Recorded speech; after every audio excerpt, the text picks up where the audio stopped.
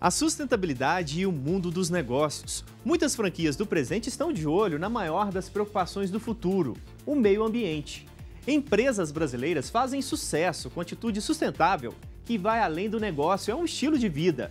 A simpatia da clientela vem junto com os lucros, seja na loja de produtos naturais ou no Lava Jato ecológico.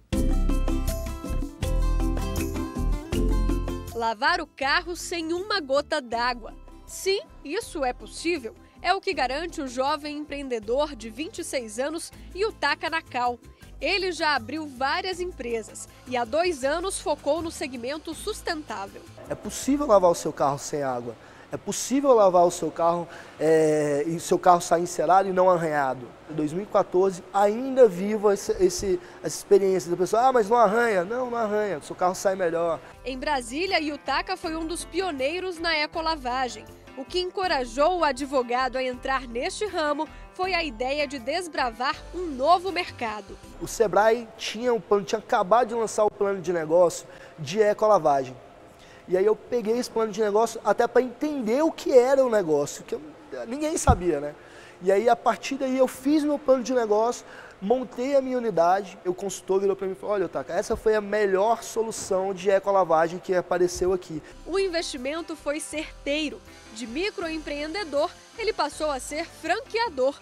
E o desafio agora é escolher os parceiros que vão espalhar pela cidade e até pelo país a marca da própria empresa. Interessados não faltam. Eu já recusei pessoas bastante qualificadas. Hoje os nossos franqueados são pessoas muito qualificadas, diretor de financeiro de grande rede, é, consultores empresariais, advogados de sucesso.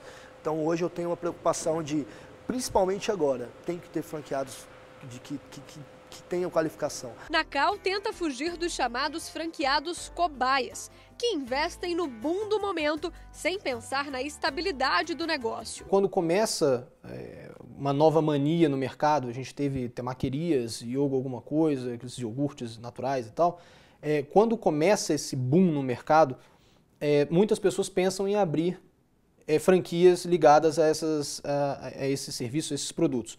E aí o que acontece é que às vezes você ainda não tem informação sufici suficiente sobre a, a, a solidificação desse tipo de negócio no mercado. Então é um risco. Esse é o perfil de quem não consegue permanecer na ativa por muito tempo. O brasileiro gosta de empreender. Só tem uma pequena parte que gosta de empreender e ir pescar. Aí não dá certo. A não ser que você seja dono do Pesque Pague. Aí dá certo. Mas se você não é dono do Pesque Pague e você montou uma franquia de sanduíches, é bom você acompanhar seu sanduíche. As franquias no Brasil crescem a todo vapor. São cinco negócios por hora. 38 novas lojas por dia abrem no nosso país. Em 2013, o faturamento do setor chegou a 325 bilhões de reais e mais de 285 mil pessoas ganharam um novo posto de trabalho.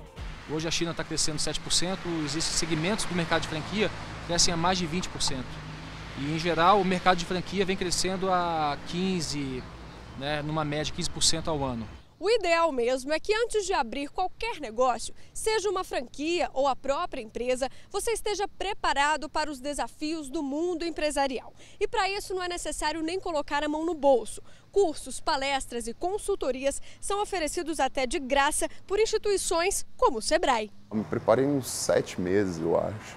Uns sete meses que eu preparei estudando, buscando informação. O Sebrae é um é muito importante também, ajuda demais. Tem vários cursos no Sebrae né, que você pode fazer, que curso para como administrar uma empresa, tem curso direcionado para franquia, para como abrir sua franquia. Foi isso que Bruno fez. Há um mês abriu uma franquia para lá de saudável com produtos específicos e rentabilidade garantida. É uma tendência, né? Hoje as pessoas buscam mais saúde.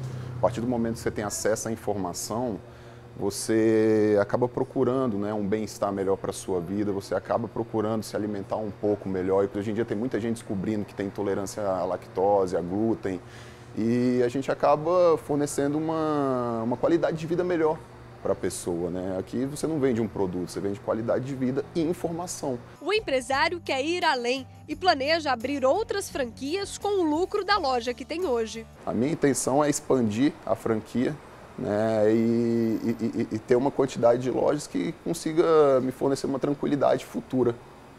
E aí sim descansar. Mas é claro que todo negócio tem risco. Então é bom saber os prós e os contras do mercado antes de embarcar nessa ideia. As pessoas entendem que franquia é um negócio menos arriscado, porque em tese você já recebe tudo mastigado do franqueador para você abrir o seu negócio. É, eu não diria que é um negócio é, seguro, eu diria que é um negócio menos arriscado. Você tem problemas na, na, nas franquias como você tem em qualquer tipo de negócio. E será que você aí de casa tem perfil para ser um franqueado e abrir a própria empresa? Os especialistas aconselham. Eu tenho dinheiro, quero investir em alguma coisa, alguma coisa que me pague mais do que o, que o banco me paga, então eu vou montar um negócio. Só que eu não necessariamente tenho toda a expertise de mercado necessária para montar esse negócio. Então eu vou pedir ajuda para alguém alguém que já estudou o mercado, que já conhece, que já fez o plano de negócio, que já detectou qual é o melhor local para se colocar o negócio, que fez uma análise de rentabilidade da praça, que vai fazer propaganda para mim, que vai me dar o produto pronto, que ainda vai me ensinar a vender e administrar.